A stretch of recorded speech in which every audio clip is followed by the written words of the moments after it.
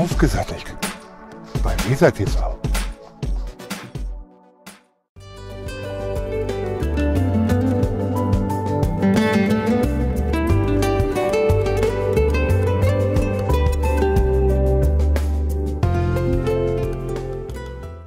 Moin Moin, eine neue Folge von Aufgesattelt. Heute mal bei uns zu Hause.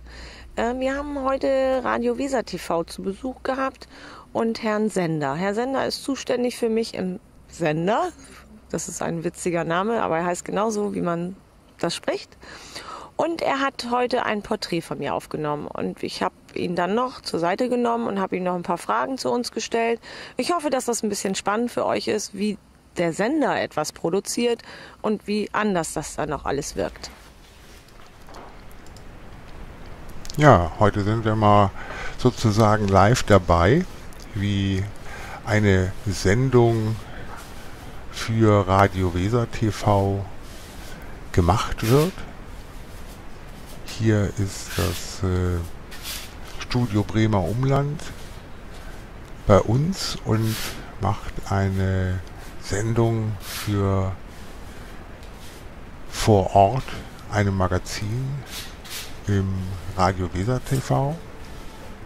Und hier geht es um ein Porträt von Nina Ramershofen und dem Reitclub Pferd und Freizeit in Stade.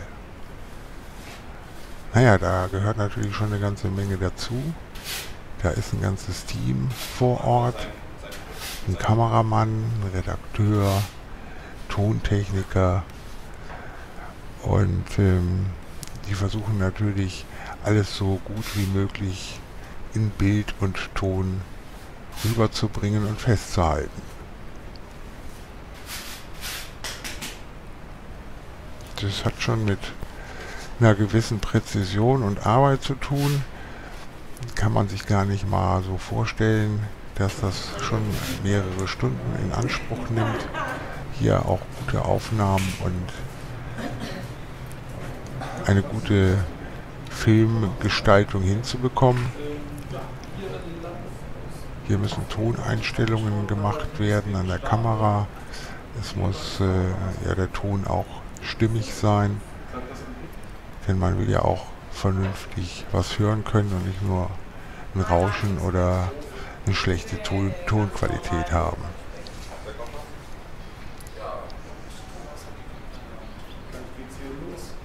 Das Ganze geht natürlich auch ein bisschen locker äh, von der Hand. Da soll ja auch nicht in, in starker Anspannung alles stattfinden, sondern das soll ja auch ein bisschen Spaß machen und die Ängste vor Kamera und Mikrofon sollen genommen werden, so dass es einfach besser ist, in einer lockeren Atmosphäre das Ganze aufzunehmen, als wenn das so ganz straff und äh, vorprogrammiert äh, ablaufen würde. Keine Ahnung. Das ist einmal passiert und es ist nichts weiter passiert. Gerade bei Interviews und solchen Porträtaufnahmen oder Tieraufnahmen, die hier gemacht werden, ist es natürlich wichtig, dass die ganze Atmosphäre stimmt, denn Tiere haben auch ihren eigenen Willen und man muss schon geduldig sein, um da eventuell die richtigen Einstellungen zu finden und das Tier auch in der richtigen Situation aufnehmen zu können.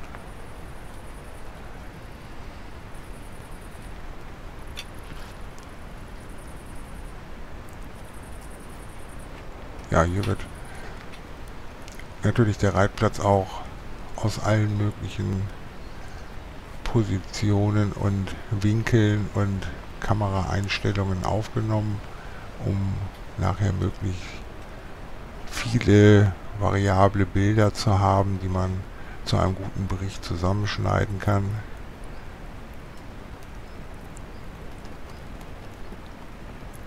Viele erkennen gar nicht, was für eine Arbeit und für einen Aufwand dahinter steckt, so einen Film beziehungsweise so einen Bericht oder ein Porträt über eine Person oder einen Ort oder was auch immer zu machen.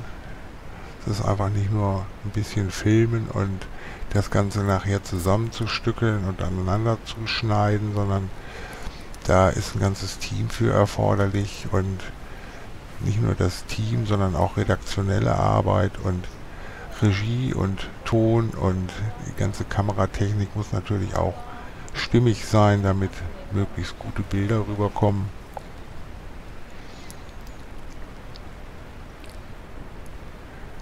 Denn der Zuschauer will ja nachher auch ein gutes und adäquates Bild- und Tonmaterial sehen können, damit der Bericht auch in einer guten Qualität rüberkommt.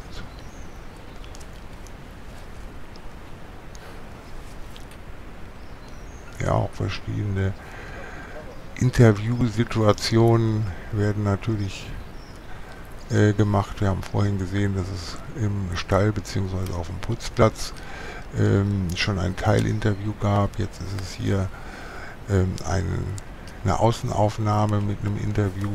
Also auch hier muss äh, das variiert werden, damit das auch interessant wird. Naja, es ist auf jeden Fall viel Arbeit und wir werden das fertige Produkt der ganzen Mühen hier im Anschluss nach dem kleinen Interview mit dem Herrn Sender auch hier im Film sehen. Pferde die Chance, sich in Herden frei zu bewegen. Frei ist relativ, weil es nach klar ein Zaun drumherum. Aber es gibt halt Pferde, die kann man nicht auf Weiden, stellen, weil sie dann krank werden. Und diese Pferde, die wir jetzt hier sehen, ähm, Darf ich nochmal kurz unterbrechen? So, jetzt haben wir ja nur heute Herrn Sender hier zu Gast. Und Herr Sender ist zuständig für mich und meine Sendung aufgesattelt äh, im Radio Weser TV. Und ich hätte so ein paar Fragen. Herr Sender, wie sind Sie eigentlich dazu gekommen, A, zu Ihrem Job? Was machen Sie ganz genau im Sender? Ich bin eigentlich der Redakteur für die Beiträge, die wir im Radio, also bei Radio Weser TV machen, sowohl im Radio als auch im Fernsehen. Ich bin oft draußen und äh, versuche Themen an Land zu ziehen und die dann auch zu bearbeiten und zu texten. Und jetzt, ganz ehrlich, haben Sie schon mal jemals irgendwas mit Pferden zu tun gehabt? Sprich, Sie waren mich heute besuchen, haben mich interviewt. Ähm, haben Sie irgendeinen klitzekleinen Bezug zu Pferden? Nein, überhaupt nicht. Also ich glaube, ich habe auch noch nie auf einem Pferd gesessen, nicht mal als Kind. Und ich kann mich jedenfalls nicht daran erinnern. Und ähm, ich habe auch, muss ich sagen, relativ viel Respekt vor den Tieren.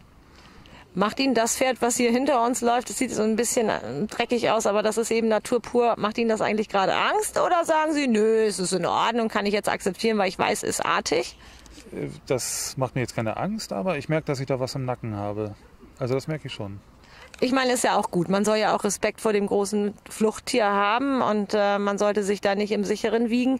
Ich möchte mich erstmal herzlich bedanken, dass Sie den weiten Weg geschafft haben, hierher zu kommen, ein Interview mit mir zu machen, mich vielleicht dann vorzustellen. Ich hoffe, wann kommt das? Wann kommt das überhaupt? Das wird jetzt, ich sag mal, in 14 Tagen, schätze ich mal, haben wir es dann geschnitten und soweit fertig, dass wir es dann bei vor Ort im Umlandmagazin zu sehen, dass es da zu sehen sein wird. Dann bedanke ich mich für Ihren Besuch und dass Sie hier nochmal Rede und Antwort gestanden haben. Alles klar, kein Problem. War sehr schön hier.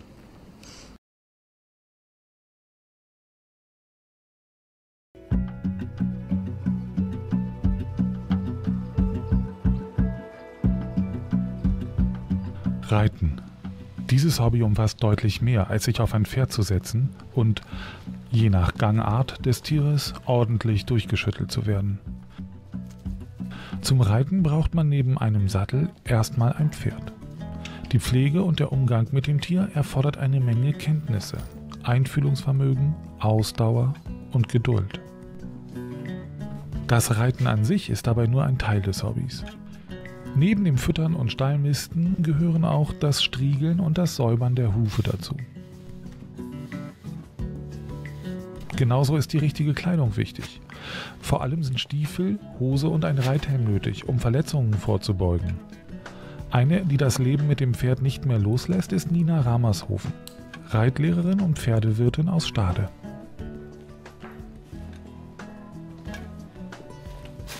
Das ist ganz klassisch passiert. Meine Eltern sind auf ein kleines Kuhdorf gezogen mit 200 Einwohnern wo jeder dritte Bauer für sein Kind, na klar, ein kleines Shetty um die Ecke stehen hatte, zwischen Kühen und Schweinen und was da noch so alles rumkreuchte und fleuchte. Und man ist ja na klar neidisch, kommt von woanders, hat keinen eigenen vierpelzigen Beiner. Und dann bin ich da halt zugestoßen. Man lernt sich ja auch untereinander kennen. Kinder finden ja ganz schnell Anschluss. Und dann war das von Anfang an um mich geschehen. Nun ist sie Reitlehrerin im Reitclub Pferd und Freizeit in Stade, reitet weiterhin auf Turnieren und hat mittlerweile auch ein Buch über Pferde geschrieben. Das ist kein klassisches Buch über Pferde, sondern es ist ein Leitfaden, wie ich Trainerassistent werde, sprich die rechte Hand von einem Reitlehrer. Das ist eine klassische Ausbildung, die man bestreiten kann in den Reitvereinen, was es dafür alles braucht, welche Vorbereitungen ich treffen muss, um diese Prüfung zu machen. Und natürlich erfährt man so einiges über den richtigen Umgang mit Pferden in diesem Buch. Das Oberthema Pferde hat übrigens auch das monatliche Fernsehmagazin aufgesattelt das Nina Rammershofen hier bei Radio Weser TV moderiert. Jeden ersten Montag im Monat um 20.15 Uhr kann man spannende Themen rund um Ross und Reiter sehen. Produziert wird die Sendung zusammen mit dem ersten Vorsitzenden des Vereins, Michael de Troyes, mit dem Frau Rammershofen auch für den reibungslosen Ablauf auf dem Reiterhof sorgt. Natürlich ist de Troyes schon seit langem ein echter Pferdenarr beschäftige mich also schon seit über 50 Jahren mit Pferden und dem Reitsport. Mein Bruder war Berufsreitlehrer und meine Geschwister hatten immer eigene Pferde und sind auch auf ganz vielen Turnieren mitgeritten. Und ich als kleiner Stöpke war natürlich immer ganz begeistert auch dabei und habe dann auch mit Voltigieren angefangen und später dann selber auch aufs Pferd gegangen und geritten unter Anleitung meines Bruders und habe dann nachher auch sogar Kreismeister- und Bezirksmeisterschaften gewonnen. Seit 2009 gibt es den Reitclub mit mittlerweile knapp 100 Mitgliedern. Meisterschaften und Pokale stehen hier aber nicht im Vordergrund. Es geht eher um den Breitensport. Wir geben halt Unterricht für Wiedereinsteiger, für Kinder und Erwachsene, Jugendliche, und alle, die Spaß am Reitsport haben. Aber, das muss man dazu sagen, mehr auf der Freizeitbereichsschiene. So werden hier viele Kurse und Aktionen für alle Facetten der Hobbyreiterei angeboten. Sogar Zirkuslektionen oder auch Grundlagen für die Dressur und das Springreiten kann man hier erlernen.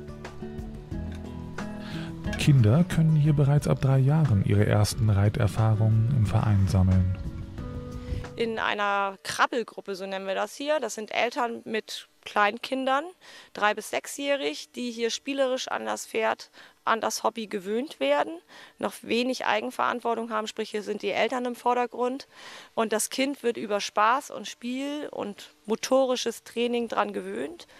Weil die Knochen noch sehr weich sind, kann man noch nicht sehr viel mit den Kindern machen oder sollte es zumindest nicht tun, weil die voll im Wachstum sind. Und dann ab sechs, sage ich immer so, sieben spätestens kann man eigentlich anfangen mit Einzelunterricht, die Kinder ein bisschen härter ranzunehmen. Es ist wie in der Schule, es wird immer schwieriger. Und dann so richtig Reitunterricht, sage ich jetzt mal, kann man ab neun. Dadurch, dass Kinder immer mehr Zeit in der Schule verbringen und das verkürzte Abitur machen sich auch hier bemerkbar. Die Möglichkeit für Kinder und Jugendliche, ihre freie Zeit in Vereinen zu verbringen, ist begrenzt.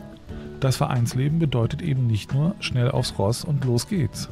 Wenn man in einem Reitverein organisiert ist, dann ist das absolut wichtigste Gebot, dass man diese Gemeinschaft, das Ehrenamt fördert.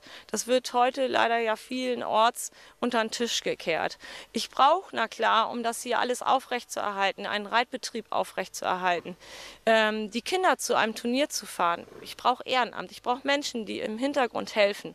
Für jedes eigene Event, was ich hier am Hof selber für die Kinder organisiere, äh, brauche ich Helfer. Ehrenamt ist also nicht nur bei Feuerwehr und Hilfsorganisationen nötig, sondern auch auf dem Reiterhof gefragt.